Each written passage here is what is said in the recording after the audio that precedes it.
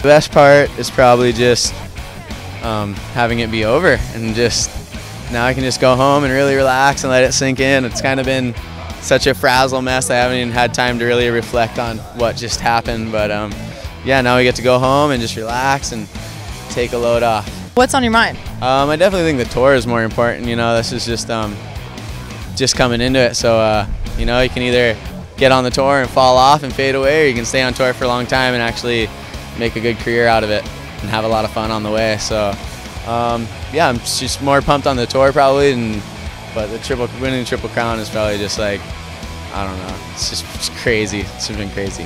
How's it feel to be the most wanted man on the North Shore? What am I? Rick, she said it. I don't know. Nah. Thanks for watching Surf Channel. I know it.